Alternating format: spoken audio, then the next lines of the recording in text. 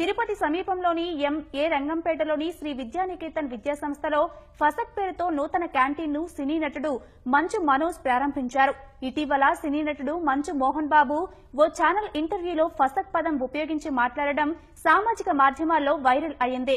ఇప్పుడు అదే పేరుతో క్యాంటీన్ ఏర్పాటు చేయడం ప్రత్యేకత సంతరించుకుంది. అన్ని రాష్ట్రాల విద్యార్థినులను దృష్టిలో పెట్టుకుని ఈ విద్యానికేతన్లో క్యాంటీన్ ప్రారంభించినట్లు మంచు మనోజ్ తెలిపారు. మనోజ్ను చూసేందుకు